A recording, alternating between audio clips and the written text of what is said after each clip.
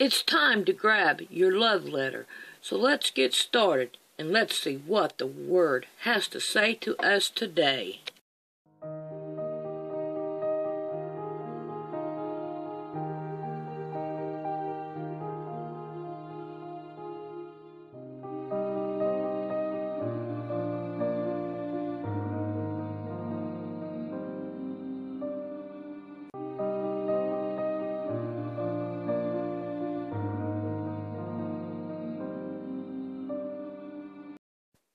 We have different types of safety seals.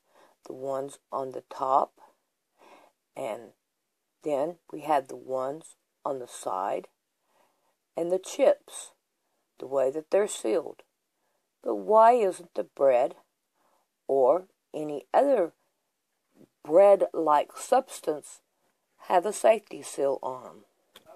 Even medicine bottles have a safety seal. This is false security.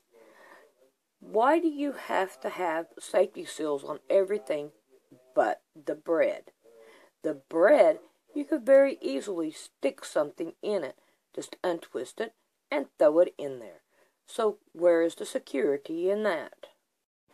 That's like the police. You think the police are there to help you, but instead, they're out to harm you. Now, what about guns? Guns in the home or to protect you. So, do you have one in your home to protect you? What about your driver's license? False security. It doesn't help you. Car insurance is another false security. It will not help you to drive better.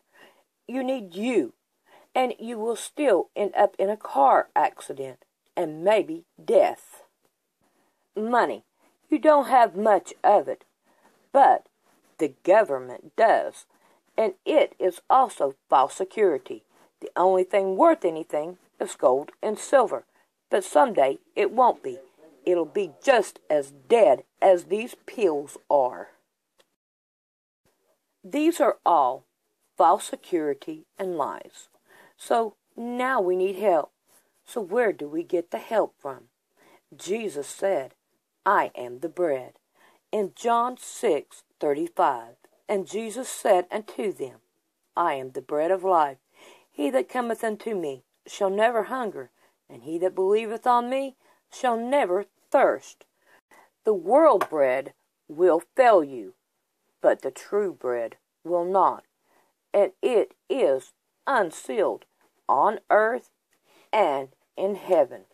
So think about bread being Jesus Christ the next time you pick up a loaf.